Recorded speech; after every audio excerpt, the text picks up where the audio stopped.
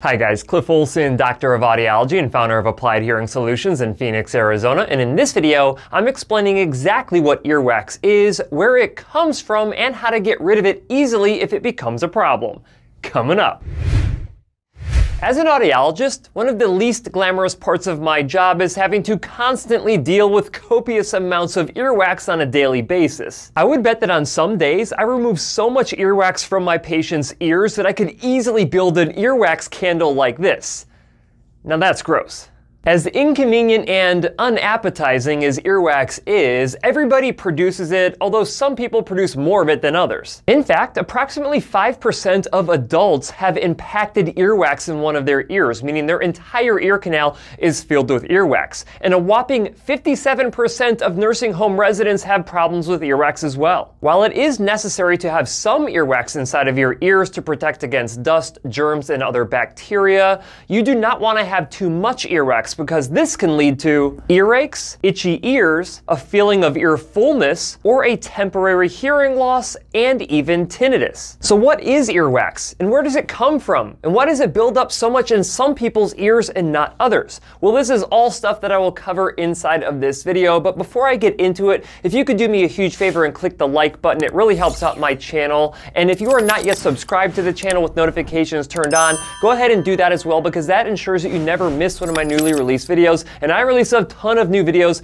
every single week. That being said, I really appreciate it, and a huge shout out to Eosera for sponsoring today's video, but more on them in a little bit. In the medical world, earwax is known as cerumen, and it is comprised of three different things. It has waxy secretions from the ceruminous glands of the skin inside of the ear canal. It has dead skin cells from the ear canal, as well as hair from the ear canal. Now, please indulge me as I get technical here for just a minute. Skin is the largest organ of the human body and it lines pretty much everything, including your ear canals. Inside of your skin, you have glands, and these glands secrete different substances, mainly sweat and other oils. Let's talk about the glands inside of the skin on your arm. Most of these are called eccrine glands that produce a mostly watery substance called sweat and sebaceous glands that secrete sebum, also known as skin oils. These types of secretions serve to keep your skin cool, which is exactly why you sweat more when you exercise, and to keep your skin and hair lubricated. On the other hand, the skin of your armpits, your hair, and your um,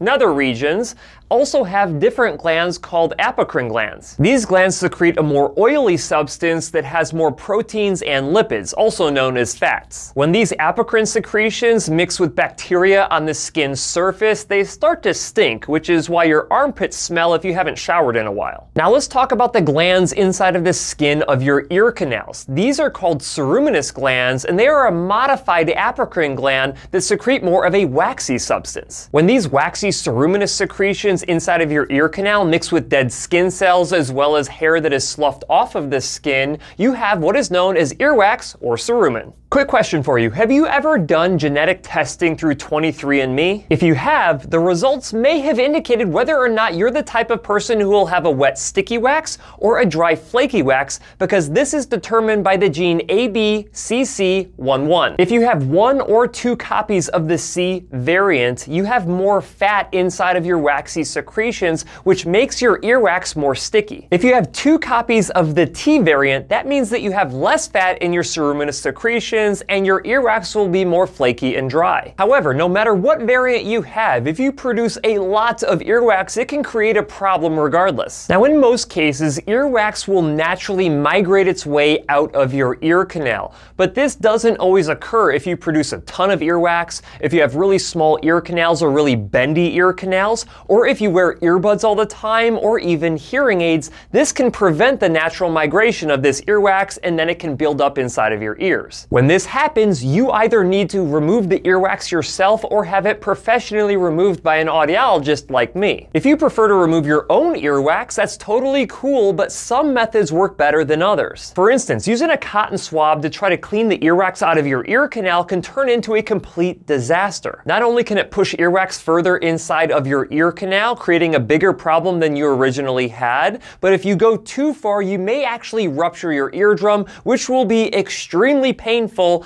and it can lead to a permanent hearing loss. Instead of using a cotton swab, using ear drops like Earwax MD from Eosera, today's video sponsor, is a much more effective and safer option. Earwax MD was specifically formulated with glycolic acid as well as sodium and potassium bicarbonate, which hydrate and break down the chemical bonds of cerumen so it can be flushed out of your ears. Most other over-the-counter earwax removal drops use an oil-based solution that includes carbamide peroxide, which is not as effective as you may think. Just look at this side-by-side -side test tube comparison of a leading carbamide peroxide solution on the left-hand side of your screen versus Earwax MD on the right-hand side. You can easily see how the Earwax MD solution is breaking down the earwax while the earwax in the carbamide peroxide solution does almost nothing. So now that you've seen the comparison between these two different types of ear drops, I'm interested to know which one you think would be better at breaking down your earwax so you can flush it out of your ears. The Earwax MD solution or the carbamide peroxide solution? Go ahead and leave your answers in the comment section. Earwax MD is so effective that it is the only eardrop solution that I use inside of my clinic because it makes earwax removal and cleaning ears so much easier and faster. I would just recommend that you don't let your earwax get out of control. Your ears out on a weekly basis using a product like Earwax MD so you don't always have to go in to see a hearing care professional to get the earwax removed. That being said, over-the-counter products do not replace a trip to the doctor if a trip is warranted. If you would like to get some Earwax MD for yourself, you can either click the link in the description below or you can go to your local pharmacy like Walmart, CVS, or Walgreens. There's a reason why there are so many videos of earwax removal on TikTok and YouTube. There are literally thousands of them showing removing different types of earwax with different tools and techniques. That's because earwax buildup is a massive problem not just in the United States, but worldwide, and people have no clue how to get the earwax out of their own ears themselves. But now that you know what earwax is, where it comes from, and how to remove it yourself, you should be able to prevent it from becoming a big problem for you.